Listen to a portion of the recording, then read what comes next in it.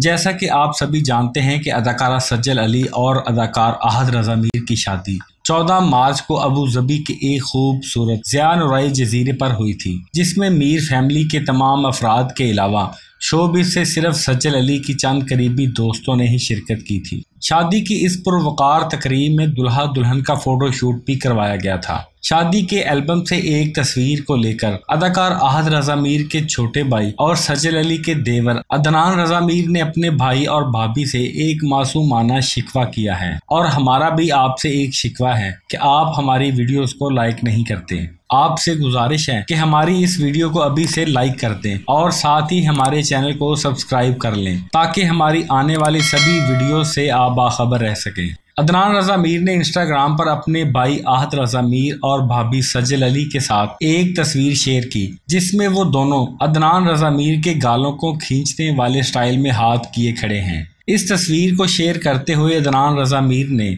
इसके कैप्शन में एक फिक्रा लिखा कि, मेरे चेहरे के साथ ऐसा करने वाला एक पहले से मौजूद था तो आप दूसरा क्यों ले आए?